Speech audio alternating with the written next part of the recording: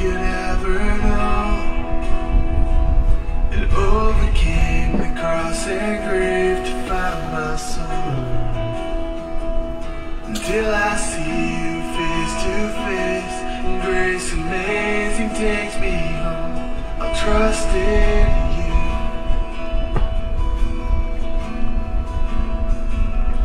All I am, I live to see your kingdom come.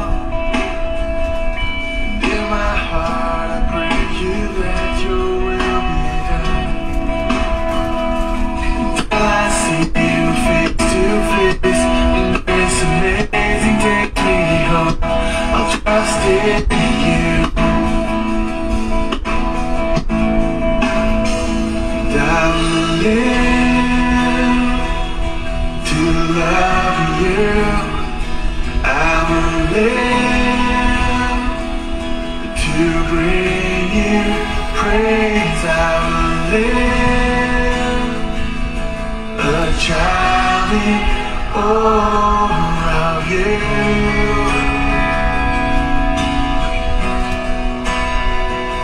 You are the voice that called the universe to me.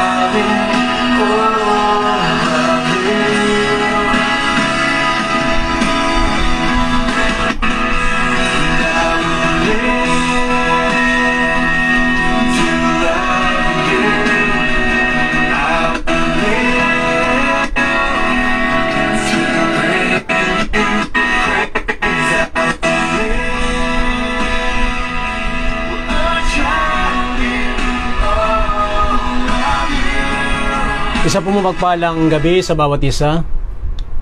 Welcome po sa ating live stream. Streaming ngayon pong, ngayon pong gabi. At ah, sa akin pong pagsisimula, ay nais ko pong ah, kayong imbitahan sa ating pong mga gawain. Wednesday, Friday, Sunday ng umaga at Sunday po ng gabi, alas 7 ang ating pong mga pagtitipon. Meron po tayong apat na beses na live streaming at ah, patuloy po tayong ah, mag-aral at mag- makinig ng mga salita ng Diyos sapagkat ito po ang magiging kalakasan natin sa panahong ito ng ah, pandemic. At sapagkat kailangan po natin ang salita ng Diyos sa oras na ito o sa mga panahong ito upang tayo po ay ah, hindi po atakihin ng kalungkutan o ng ah, pangungulila sapagkat alam naman natin na ito po ang matinding maatake ngayon sa panahon natin. At sa mga nagtatanong nga pala, ah, kung kailan tayo magkakaroon ng, ah, live o face-to-face na ah, gawain ay ah, panalangin natin sa Diyos. Dahil alam nyo po, kahit man ako gustong gusto ko na po magkaroon tayo ng face-to-face, Ah, dahil iba iba rin kasi pagka face to face nakikita tayo kaya lang isinasalang-alang ko po yung ating po mga kapatid sa akin kasi ang mahalaga hindi yung gusali ang mahalaga sa akin ay yung tao. Kasi ang iglesia ay tao. Mga grupo kasi kalipunan ng mga tao mga na niligtas ng Panginoon binago ng Panginoon. Kaya tis-tis muna tayo panalangin natin na ah, yung vaccine ay may pa mahagi na o maging available na sa sa atin sa bansang ito sa Pilipinas dahil upang sa gayon ay ah, ah, magkaroon, magkaroon tayo muli ng face to face na gawain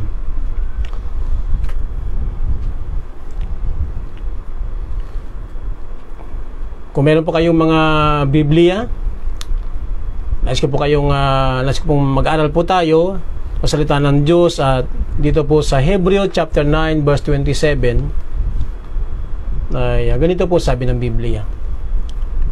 It is appointed unto man once to die, but after this, the judgment. Manalangin po tayo. Panginoon, sa oras pong ito, kami po ay nagpapasalamat sa iyo, Panginoon, sapagkat binigyan nyo kami ng isang buhay.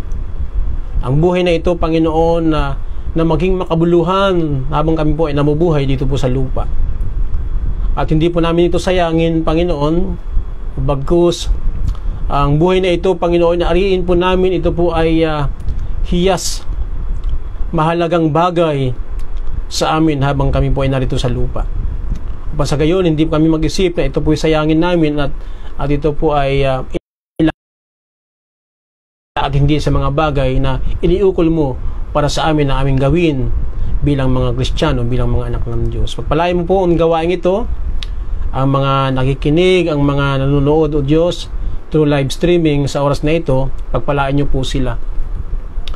At pinapanalangin ko, Panginoon Diyos, na bigyan mo kami ng mga laking gusali na na hindi kami na makakapasa kami Panginoon sa isa ito sa mga humadang sa amin sapagkat maliit ang lugar na Panginoon. Kaya naman, pagpalain mo po ang iyong mga anak, gumamit ka, O Diyos, ng mga anak mo na mga Kristiyano at hipuin mo sila. Pagpalain mo ang kanilang buhay upang suportahan ang gawain ito, Panginoon, at makakuha kami ng mas malaking lugar sapagkat miss na miss na po namin, Panginoon, na magkaroon ng face-to-face na gawain ang maranasan ang iyong banal na espiritu, ang iyong pagkilos at marinig ang mga patotoo, ang mga bagay. Ulitin ko po ulit, Carpe diem and memento mori. No? Hindi po monumento ha, memento mori. Ayon sa kanyang uh, uh, pagsulat nito ay upang ipahayag ang idea na dapat tamasain ng isang tao ang kanyang sandali habang siya'y nabubuhay. Kaya ibig sabihin, ang kahulugan ng carpe diem sa English po ay seize the day o samantalahin ang araw o ang bawat sandali. Pangalawa, yung memento mori, remember that you will die. Tandaan na mamamatay ka. Yun po ang kanyang kahulugan. Kaya nga, habang ikay nabubuhay, samantalahin mo.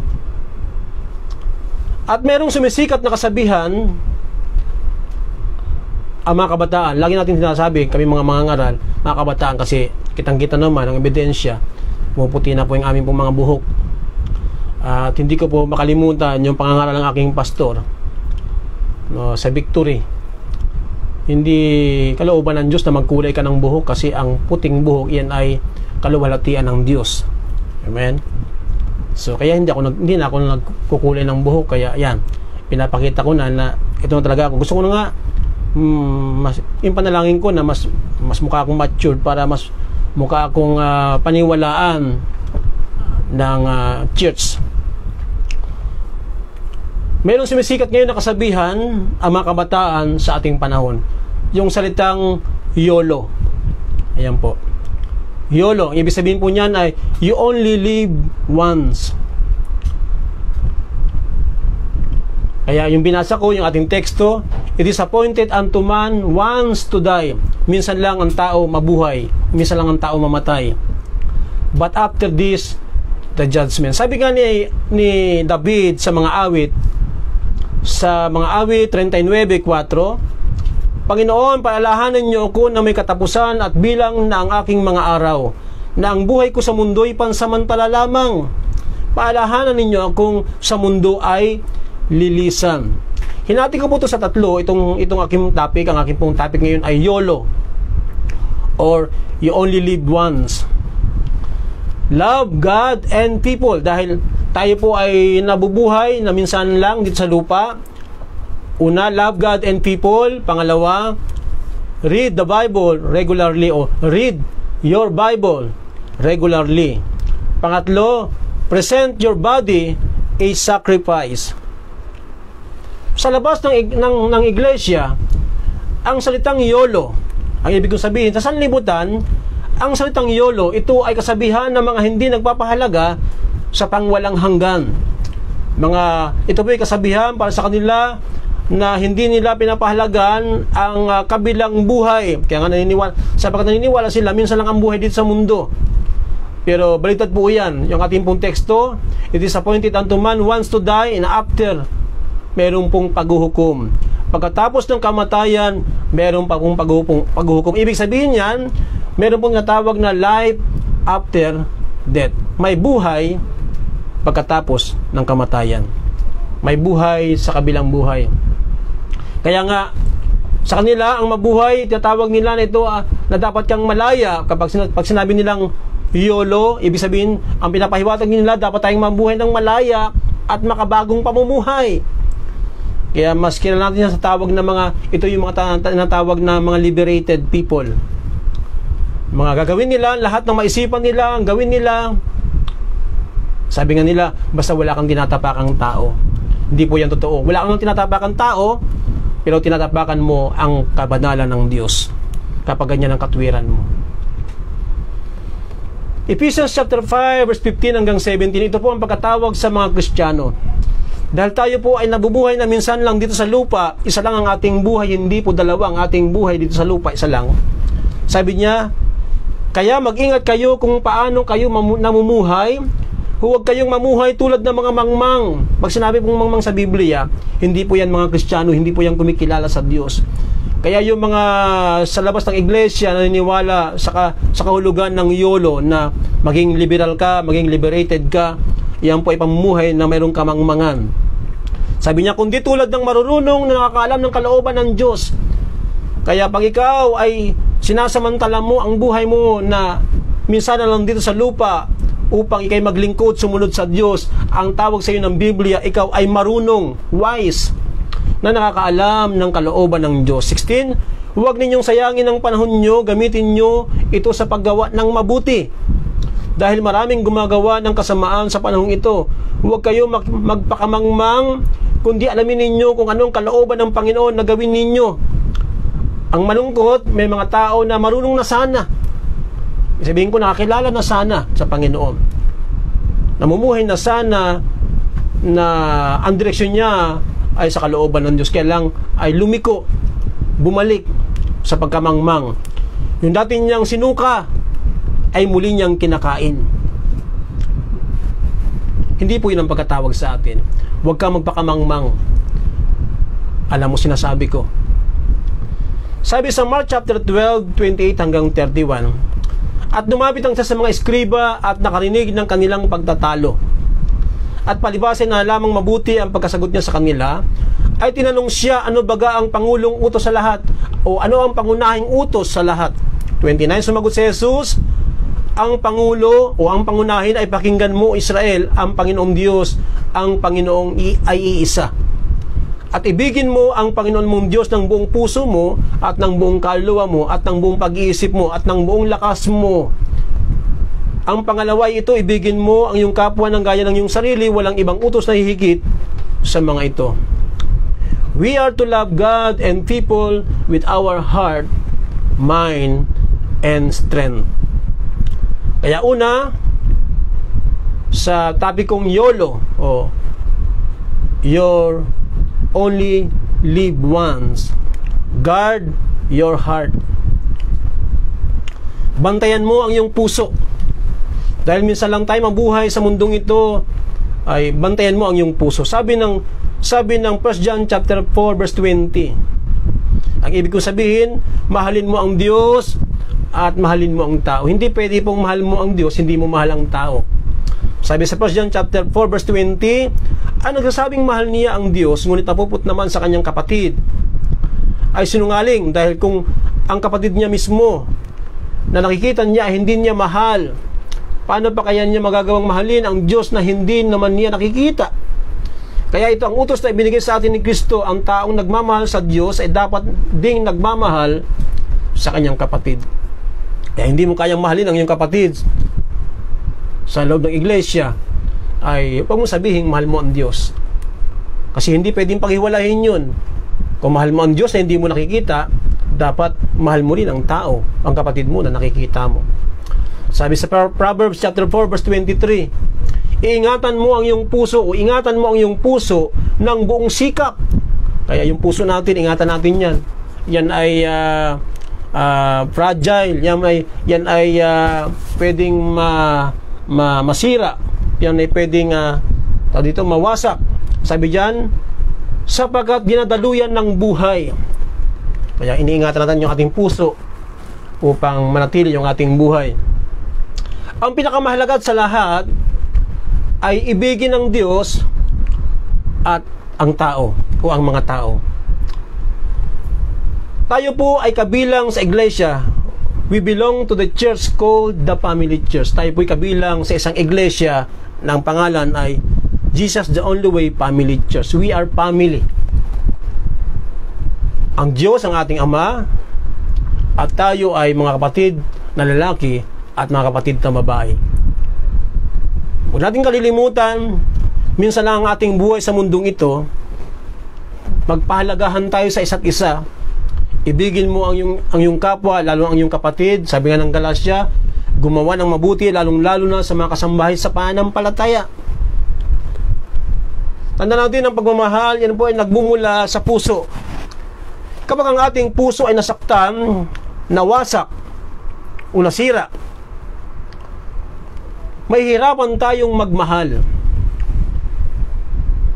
Kaya yung mga taong mayroong yung mga, mga taong galit sa mundo, yan yung mga taong mahirap ah,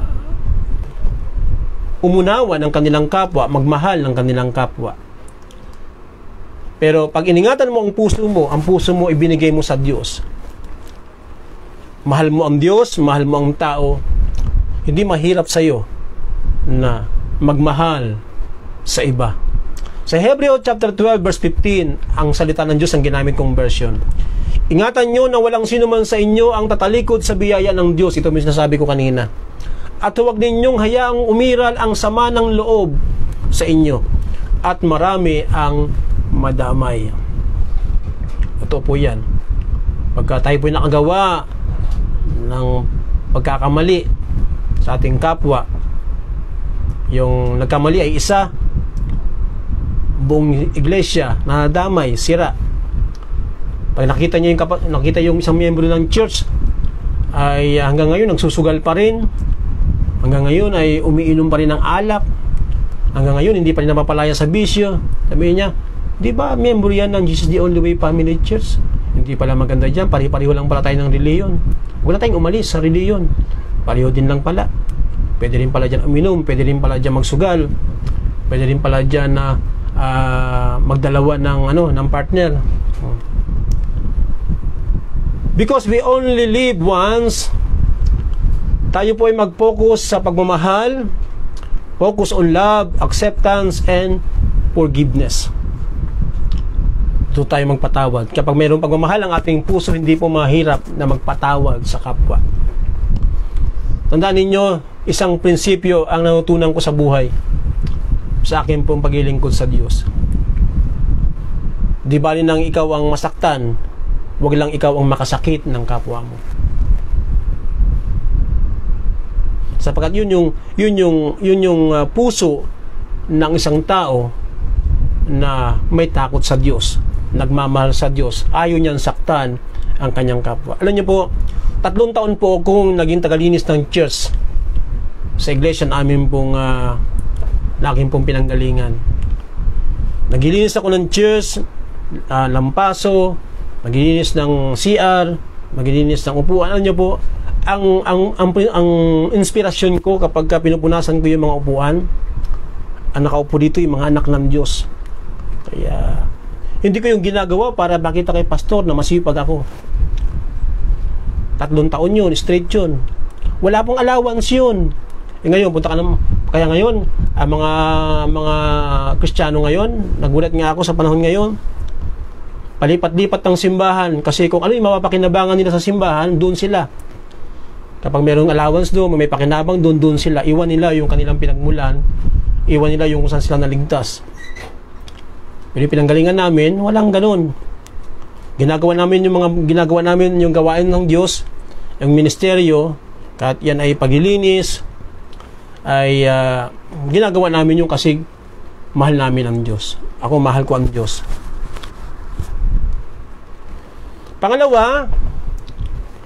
Yung una, guard your heart. Sabi niya, love God and love people. Pangalawa, feed your mind. Pakainin mo ang iyong isipan. Ibig sabihin niyan, magbasa ka ng Biblia regularly. Read your Bible regularly. Sabi ng 1 Peter chapter 2 verse 2 hanggang 3, Gaya ng sanggol na bagong panganak manabik kayo sa dalisay na gatas na espiritual. Upang lumago kayo hanggang makamtan nyo ang ganap na kaligtasan ngayon, naranasan ninyo ang kabutihan ng Panginoon. Bilang mga anak ng Diyos, bilang mga Kristiyano,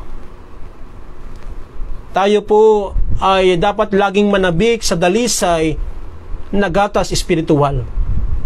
Katulad itong pangangaral ng salita ng Diyos, pagbabasa ng Biblia.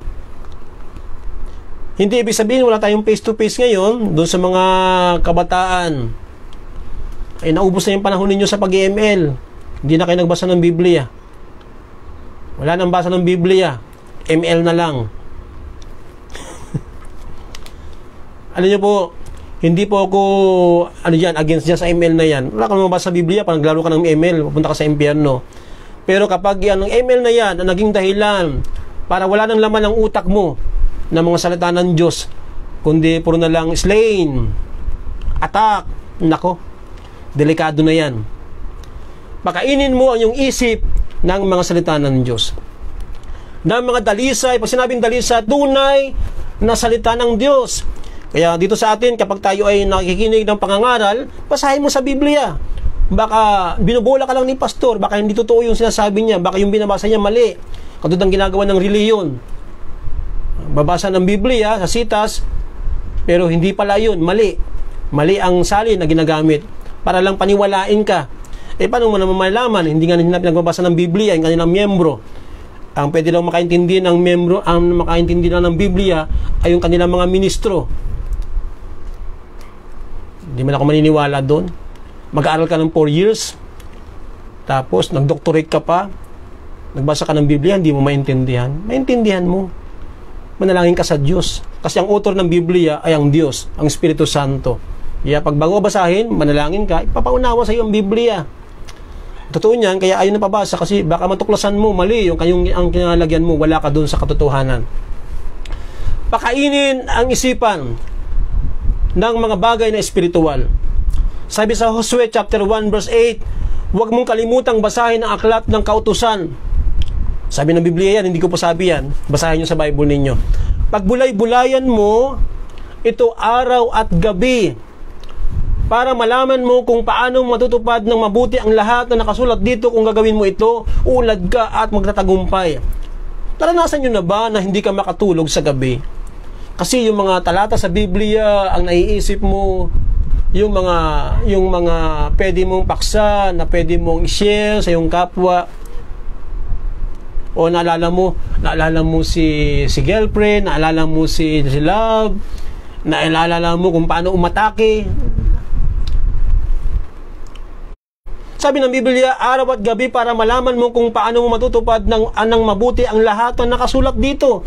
Paano malaman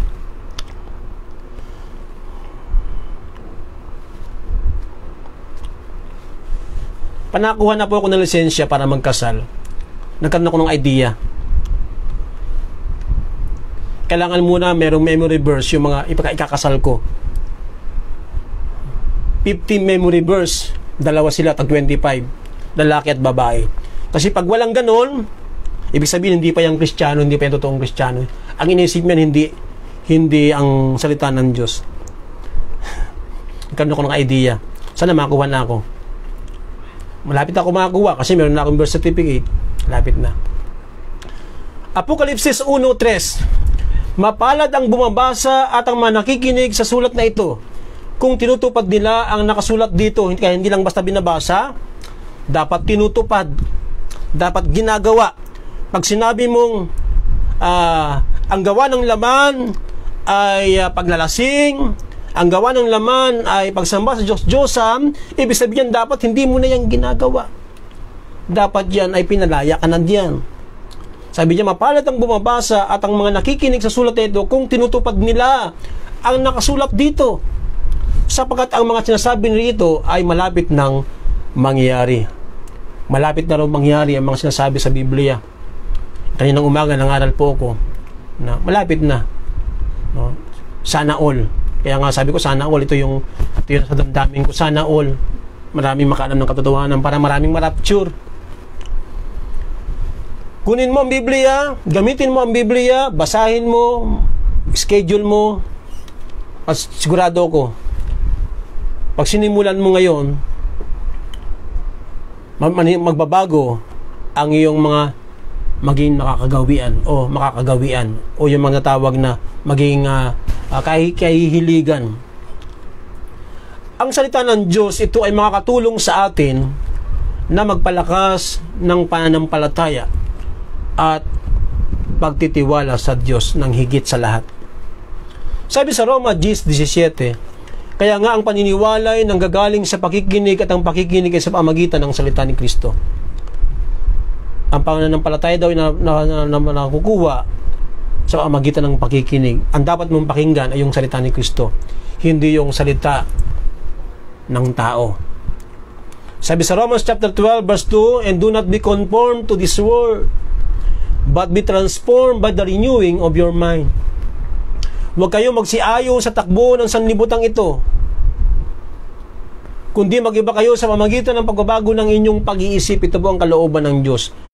Magbago ng pag-iisip. Ibig sabihin, ang isipin mo, ang kaisipan mo dapat hindi na yung mga bagay ng sanlibutan. Lagi na mapakinggan sa atin dito yung salitang sanlibutan. Ano ba yung sanlibutan? Sanlibutan tutukoy dito sa Biblia. Ito po yung mga uh, ginagawa sa labas ng iglesia na wala o sabihin ay hindi kalooban ng Diyos. Ito yung mga kasalanan na ginagawa na kinagulian, kina, ginagawian o kinasanayan ng mga tao na hindi nagilingkod sa Diyos. Mga bagay na dapat nating isipin bilang Kristiyano ay ito. At mangyayari lamang ito kung ikaw ay palabas sa ng Biblia, unang salita ng Diyos. Ito na daw ang dapat ang nating isipin. Sabi ko kanina, yung pangalawa natin, feed your mind, pakainin mo ang iyong isipan. Pilipos 4, 8 hanggang 9. Ito raw ang dapat nating isaisip una sa pag-iisip.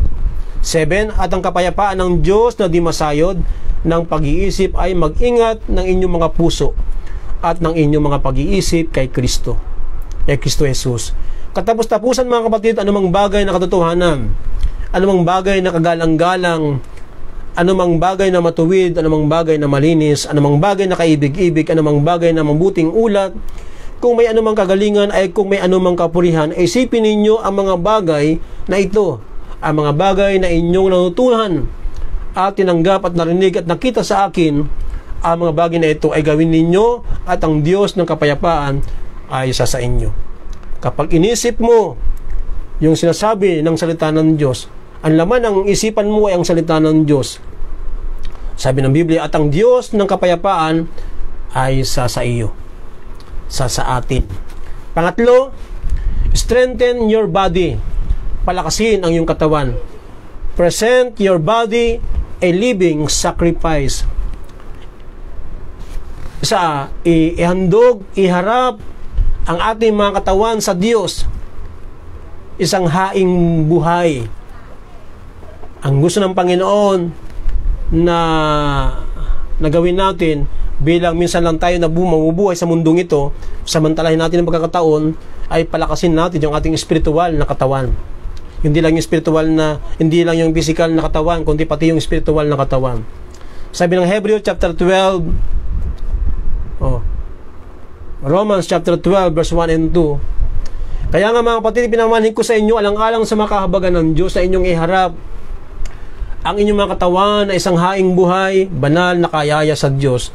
Nasa ninyong katampatang pagsamba, huwag kayo magsiayon sa sanlibutan ito. Yan na naman, sanlibutan na naman. Kundi magiba kayo sa pamagitan ng pagbabago ng inyong pag-iisip upang matunayan ninyo kung alin ang mabuti at kaayaya at loobos na kalooban ng Diyos. Kalooban ng Diyos ng ating mga isipan ay punuin natin ng salita ng Diyos. Huwag lamang natin isipin, ingatan ang ating mga puso at maging ating mga isipan, kundi maging ang ating mga katawan ay ating ingatan. Sabi sa 1 Timothy chapter 4 verse 8, Sapagat sa pagsasanay ng katawan ay may kaunting pakinabang, ngunit ang kabanalang sa lahat ng mga bagay ay pinaki ay pinakikinabangan na may pangako sa buhay na ito at sa darating. Tiyan natin ito. Sabi ng Biblia, yung exercise sa katawan, yung pagpapalakas ng katawan, meron daw pakinabang.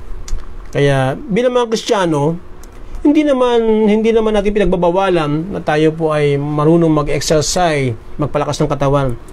Kung meron nga mga kababaihan, magbuo kayo ng uh, pag meron, meron tayong face to face, pwede naman 'yun eh. Uh, zumba, samba, 'di ba?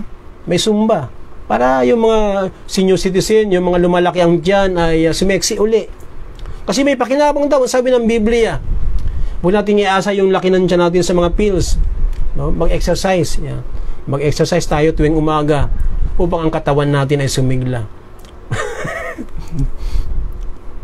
1 Timothy chapter 4 verse 7, huwag mong aksayahin o sayahan ng panahon ang mga walang kabuluhang alamat na sabi-sabi lang na matanda sa halip ay sanayin mo sa kabanalan ang sarili mo. Ang salita ng Diyos po ang aking pong ginamit na version.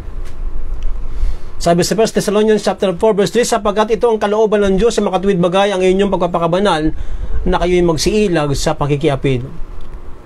Dapat magpalakas tayo ng ating katawang physical, magpalakas din tayo ng ating katawang spiritual. Ang pagpapalakas po ng katawang spiritual ay yung paggawa ng kalooban ng Diyos at pag-ilag sa pakikiapid o sa paggawa ng kasalanan.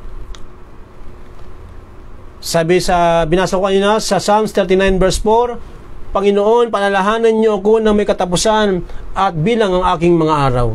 Na ang buhay ko sa mundo'y pansamantala lamang, paalahanan ninyo akong sa mundo ay lilisam.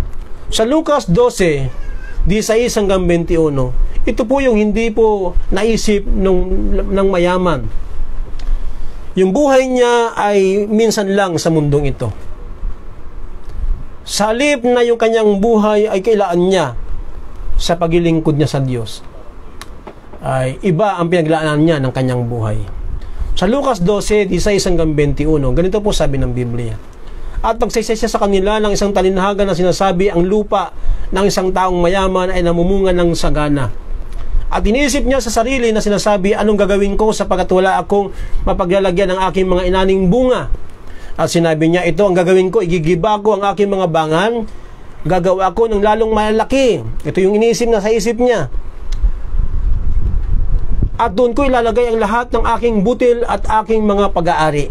At sasabihin ko sa aking kaluluwa, kaluluwa, marami ka ng pag-aari nakakamalig para sa maraming taon. Iniisip niya mabubuhay pa siya ng maraming taon.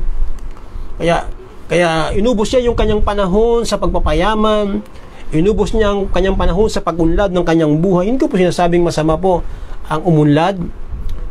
Nais ng Diyos na tayo pagpalain ng Diyos. Pero mag-ingat po tayo, baka yung kakaisip mong yumaman, ibinuhos mo yung buhay mo sa pagyaman, makakalungkot yung mga uh, mga OFW natin. Sana hindi na mangyari na dumating yung panahon, hindi na kailangan pang umalis yung ating mga kababayan ng mga Pilipino para mag-OFW. Inuubos nila yung kanilang panahon, 10 years, 20 years, 30 years, pag uwi ng Pilipinas, matanda na sila. Kung hindi lang yung panahon nila para sa pamilya nila. Tanda natin, ang ating buhay sa mundong ito ay minsan lang. Kaya nga, panalangin natin ang bansang Pilipinas ay pagpalain ng Diyos. Hindi na kailangan pang mga, mga ibang bansa ang ating mga kababayan para lang uh, makatamasa ng buhay na sagana. Kaya dun sa mga may anak, uh, sa ibang bansa, ang inyong mga magulang, ayun nako, huwag hingi ng hingi. Tandaan ninyo, bawat sentimo, bawat sentabo na kinikita ng inyong mga ng inyong tatay, ng inyong nanay, yan ay pinaghirapan nila. Tinitipid nila ang kanilang sarili para pag humingi ka, mayroon siyang may bigay. Kasi pag hindi mo binigyan, magtatampo ka. Inilaan nila ang kanilang buhay. Na sana kapiling nila ang kanilang pamilya, masaya. Uh, hindi, kasi nga gusto nilang sumaga ng kanilang buhay. Hindi ko po sinasabing masama yung ginagawa nila. Kaya lang, kailangan gawin ng mga Pilipino yon Kasi nga, dito sa bansa natin, meron tayong mentality uh, na, na ano yung mentality niya kapag hindi ka abroad kapag hindi ka W hindi ka sagan ang buhay Hindi po yan totoo. Nasubukan ko na pong ah, mamasukan. Nasubukan ko na pong maging empleyado. Pwedeng kumita dito.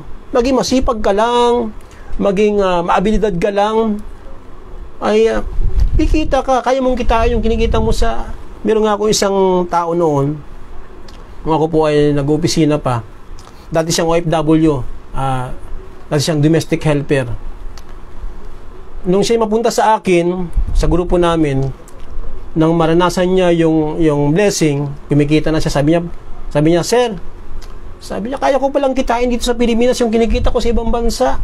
Ipanalangin mo lang. Ipanalangin mo lang. Ipanalangin mo na ikaw na anak, ayusin mo pag-aaral mo, magtapos ka ng pag-aaral, pagtapos ka na ng pag-aaral, pauwiin mo na yung nanay mo, yung tatay mo. Ang hayaan na maubos yung panahon niya doon na hindi mo kasama. Mas masarap yung sama-sama kayo, hindi man kayo ganun ka sagana sa buhay, pero masaya kayo na sama-sama na naglilingkod sa Diyos. Dahil yung katawan natin, isa lang yan. Wala lang pangalawa. Kaya wag mo sayangin yan. Tuloy, tuloy natin yung basa. 19, at sabihin ko sa aking kaluluwa, kaluluwa, marami ka ng pag-aaring nakakamalig para sa maraming taon. Magpahingalay ka, kumain ka, uminom ka, matuwa ka. Sa 20, at tapos sinabi sa kanya ng Diyos, ikaw na haling, hihingin sa iyo na sa gabing ito ang iyong kaluluwa at ang mga bagay na inihanda mo ay mapapasa kanino kaya gayon nga ang nagpapakayaman sa kanyang saganang kanyang sarili at hindi mayaman sa Diyos. Ito po ay malungkot na karanasan na natala sa Biblia. Ito, ito po ay totoo. Huwag nawang mangyari maubos ang iyong panahon. Labas sa gawain ng Diyos. Dahil darating ang araw, marami kang pagsisisihan. Tandaan natin, hindi, hindi tayo bumabata. Hindi tayo nanatiling bata. Darating ang panahon, ay uupo ka, uh, hindi ka na mga kilos katulad ng dati. Isipin mo yung mga nakaraang panahon na nasayang. Ito po yung aking pong ah, panawagan sa mga naniniwala sa salitang YOLO. Hindi po lolo ha, YOLO. Ayan. You only live once. Sabi sa James chapter 4 verse 13 hanggang 16. Sabi niya sabi sa ang salita ng Diyos ang version ng ginamit ko. Makinig kayo sa akin, kayo nagsasabi ngayon o bukas, pupunta kami sa isang bayan, mamalagi kami roon ang isang, isang taon, magninegosyo at kikita ng malaki. Sa katunayan, hindi nyo alam kung ano mangyayari sa inyo bukas sapagkat ang buhay ay parang hamog na lilitaw ng sandali at mawawala pagkatapos. Kaya nga, ito ang dapat inyong sabihin kung luluobin ng Panginoon at mabubuhay pa tayo, ganito o kaya ganoon ang gagawin natin. Samantalahin ang pagkakataon na gawin ang kalooban ng Diyos. Epeso 5, 15 hanggang 18, mag-ingat niya kayong lubos kung paanong kayong lumalakad, huwag gaya ng mga mangmang, kundi gaya ng marunong na inyong samantalahin ang panahon. You only live once. Samantalahin mo ang panahon at pagkakataon. Kaya huwag kayong maging mga mangmang kundi unawain ninyo kung ano ang kalooban ng Panginoon. Huwag kayo magsipaglasing ng alak na kinaroonan ng kaguluhan, kundi kayo mga puspos ng Espiritu. Tingnan natin yung panalangin ng isang uh, isang mayaman uli. Bakit laging mayaman? Na mayroong panghihinayang. Sa Lucas 16, 27 hanggang 31, ay babasahin ko na lang po yung 27, 28. Ganito ang sabi doon. At sinabi niya, ito po yung lalaki na mayaman, yung kwentong mayaman at si Lazaro na isang pulubi. At sinabi niya, pinamalig ko sa iyo, Ama, nasuguin mo siya sa bahay ng aking ama.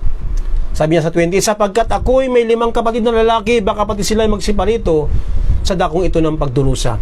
Dahil nga minsan lang ang buhay sa lupa, binawian ng buhay yung mayaman, at nang siya naroon sa para doon sa parais doon sa sa impyerno, sa hell, sa Hades, ay na-realize niya na sayang yung sandali ng buhay niya na siya sa lupa pa. Sapagkat nakita niya na pwedeng pumunta rin doon sa kanyang kinalagyan yung kanyang limang kapatid na lalaki. Kaya siya nanalangin, nakiusap kay Abraham, na papuntayin, suguin si Lazaro sa kanyang bahay at sabihin merong totoong impyerno na totoong ang buhay ay meron pong life after death. Meron pang buhay sa kabilang buhay. Kaya doon sa mga tao sa labas ng iglesia, naniniwala kayo kung bakit malakas ang loob ninyo na gawin lahat ng, ng uh, gusto nyong maibigan, lahat ng gusto nyong gawin na magpapasaya sa inyo. Ay tandaan natin, totoo, minsan lang tayo mabuhay sa lupang ito pero meron pong paghukom pagkatapos ng kamatayan. Meron pong ikalawang buhay sa kabilang buhay. 31 sinabi niya sa kanya, kung di nila pinapakinggan si Moises at mga propeta, ay di rin mga hikayat sila kahit ang isa ay magbangon sa mga patay. Kaya itong ginagawa mo ngayon na pakikinig at pag-aaral ng salita ng Diyos, ito yung pinakadabis na ginagawa mo. Kaya sabi ko nga kayo ng umaga, meron tayong responsibilidad mga miyembro ng Church, Jesus the Only Way Family Church. Lahat ng video natin, i-share po ninyo. Ano yung share ninyo? Yung mga sexy, yung mga mga ano, mga laswa. I-share ninyo yung ating mga video para makita ng mga kaibigan ninyo, mga kamag-anak ninyo na kristyano na kayo o ayaw mo magpakilala, kaya ayaw mo i-share. Sabihin, masyado kang hindi ka hindi ka hindi ka in sa panahon. No, panahon na ito para magpakilala tayo. Kasi minsan lang ang buhay sa mundong ito. Minsan lang. Samantalahin natin ang sandali. Panghuli na aking babasahin sa aking pagkatapos, mga ngaral 12, 13 hanggang 14. Ngayong nabasa mo ng lahat ng ito, ito ang aking huling payo ito ang huling payo. Ito yung payo ni Solomon. Uh, gusto ko na rin hiramin na maging payo para sa iyo. Matakot ka sa Diyos, asundin mo ang kanyang mga utos. Dahil dito ang tungkulin ng bawat tao sapagkat hatulan tayo ng Diyos ayon sa lahat ng ating ginagawa, mabuti man o masama, hayag man o lihim. Pagpalain po tayo ng Panginoon. God bless you po sa inyong lahat.